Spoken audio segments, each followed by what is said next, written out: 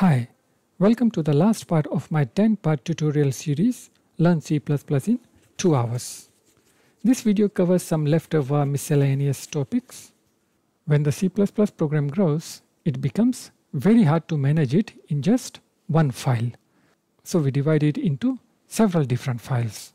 The standard practice is to keep the class definition in different files. For example, if we have to divide them into different files, then that's how it should be done. We have to create individual header files for each class. For example, circle.h for circle and cylinder.h for cylinder.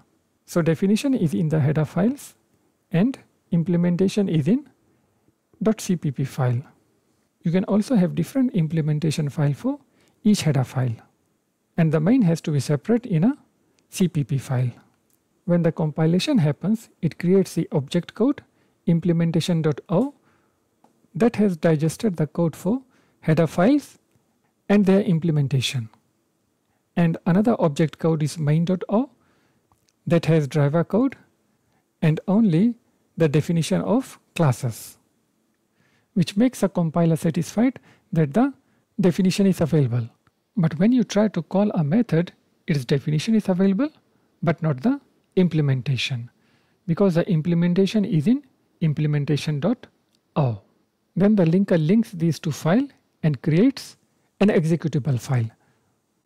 Let's refer to the lesson 7's example of circle and cylinder shapes. Here we had two classes, circle and cylinder, and the main was creating their objects.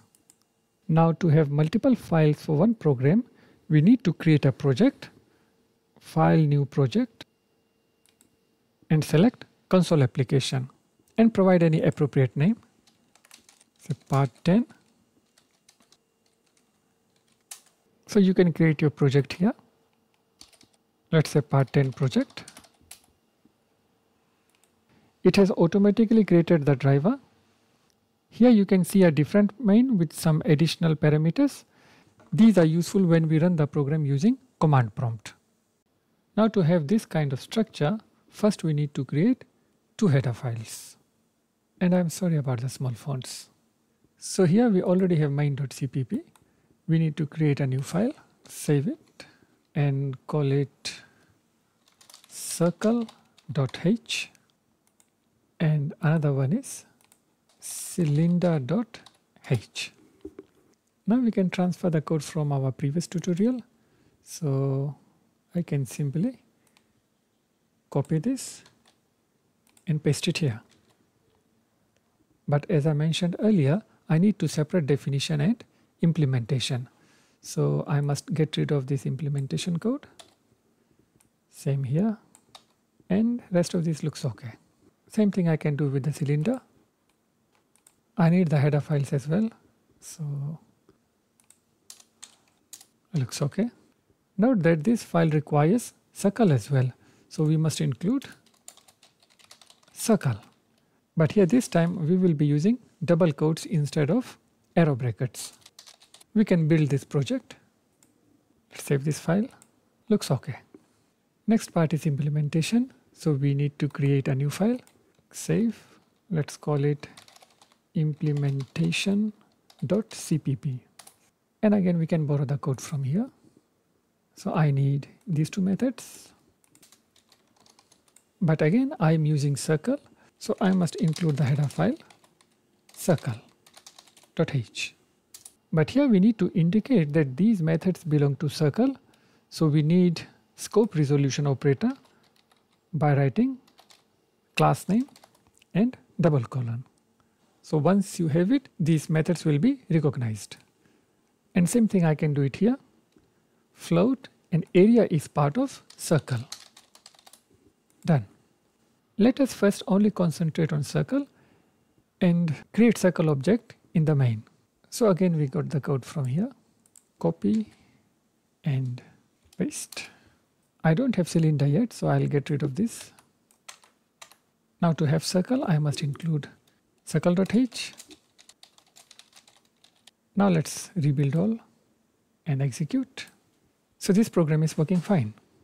Now let's do the same thing with cylinder. We get the implementation.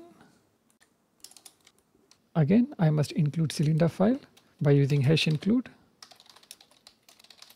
And I must also use scope resolution operator.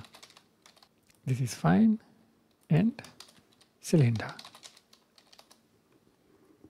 But if I try to build it, I am getting a major error.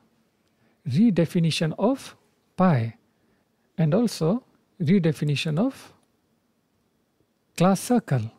So why this redefinition of error is coming up? This happens because there is redefinition of circle class. Let's see how it is happening. Since we have included both of these files, so circle.h is here, which defines circle class. And we also have cylinder.h. So if we go to cylinder.h, it has circle.h again. So that means there is redefinition of circle class. Now there is only one way to avoid this error is by having conditional compilation. In conditional compilation, we have to check if a class has been defined, we do not redefine it. And to do that, we need to make use of preprocessor directives. So here the general template is given. We need to define a flag or a constant. Let's say that is x.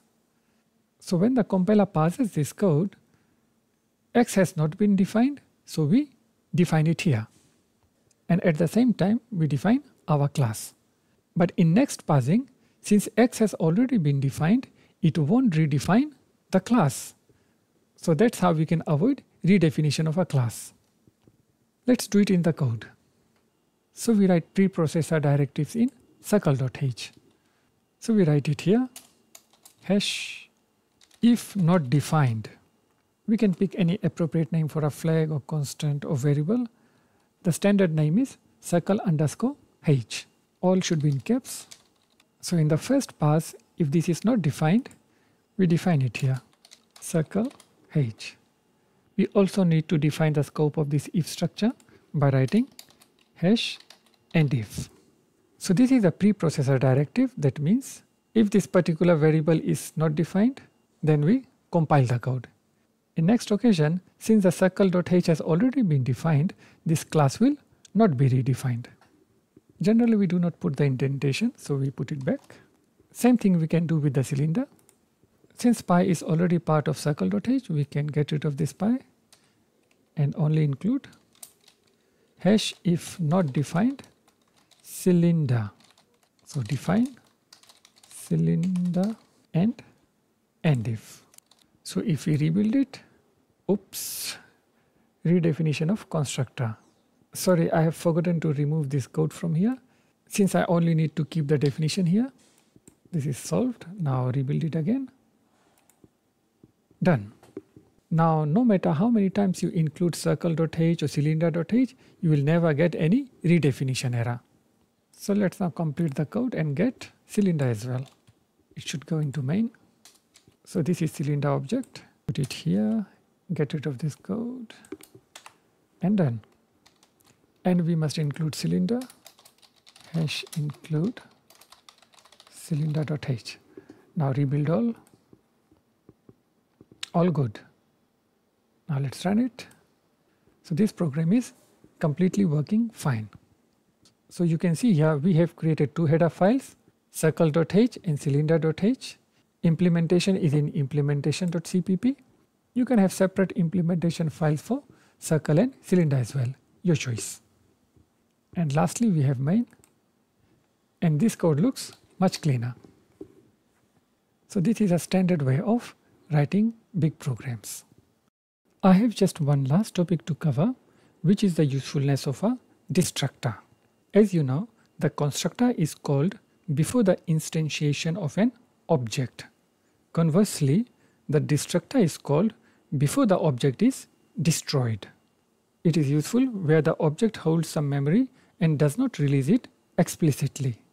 To describe the destructor, I am using a complicated code of a singly linked list, which comes under the topic of data structures.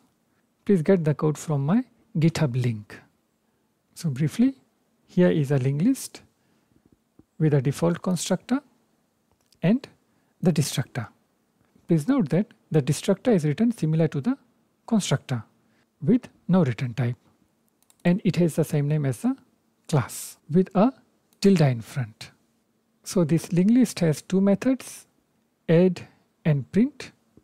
It uses a node class which is here. This works as a building block for linked list. You may notice there are some new syntax which is template. So template is generally used for generic data type because we want to have linked list for any data type. So instead of providing a specific data type, we just write class T. Otherwise, I would have written something like int data. But as I said, I want it to be generic so that it should work for char, float, double, and so on. And to specify this data type, we use arrow brackets, something like this. Or more specifically, I put char inside arrow brackets to create list of characters, which in turn would make all that is character data type. Moving on, in the main, I just want to call this function add list to add these members. And after that, this linked list should release the memory automatically. And to do that, I have a destructor, which is here. And this code releases all the acquired memory blocks. So let me run this code, compile and run. So you can see here, before this line is executed, a destructor has been called and all the allocated memory has been released. This is an easy and implicit way of releasing the memory blocks. Since we are using a generic data type, which is t, so now I can replace char with any other data type. Let's say int, and instead of chars, I can have integers. Now I don't have to change anything else. I just need to compile and run and it should work. So this is working fine. So you can see here how easy it is to use generic data type with template feature. So here we have a node pointer n. By default, it does not point to any valid location. We can say it points to an unknown random location. But if we write a new node, then a memory has been allocated for it. And that memory is logged for node pointer n. That means no one else can access this memory block. Even if this reference is destroyed, the memory is still logged. So we have to ensure to release this memory block and return it to the RAM. So to do that, we have to execute delete n. Actually, delete node here is a misnomer because it does not delete any data. However, it only releases a memory block. So without delete, the memory block is locked and with delete, the memory block is free again. Thanks for watching this tutorial series. Please like and subscribe. Thank you very much.